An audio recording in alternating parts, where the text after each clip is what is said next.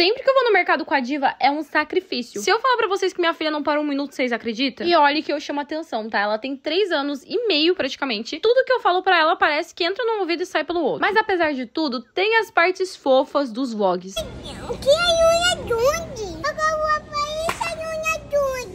sabem o que é ela saber falar como uma criança da idade dela, mas agir como uma criança de um ano e meio é mais ou menos isso. Mas pra minha felicidade como mãe, tá chegando a consulta dela no neuropediatra. Não é fácil cuidar dessa pequena aí, não. A gente entrou no mercado e ela pediu pra ir nesse carrinho. Ela sempre foi assim, ela pede pra ir um pouco e depois a gente fica andando com o carrinho que nem uns bobos. Mas olha que fofura que ela aprendeu a fazer do nada. Eu nem tinha ensinado ela, gente, sério mesmo. Olha isso. Lembrando que eu peguei vários queijos desses aí, gente. É 20 reais cada pacote, tá? Que eu inventei de fazer um fundi em família. Se vocês quiserem, ainda faço um vlog desse fundi. O pai da Dia aproveitou para pegar umas frutas também pro nosso fundi. É tão bom, sério. Quem não gosta de fundir? Alguém aí nos comentários não gosta de fundir? E o pior é que eu decidi fazer bem num dia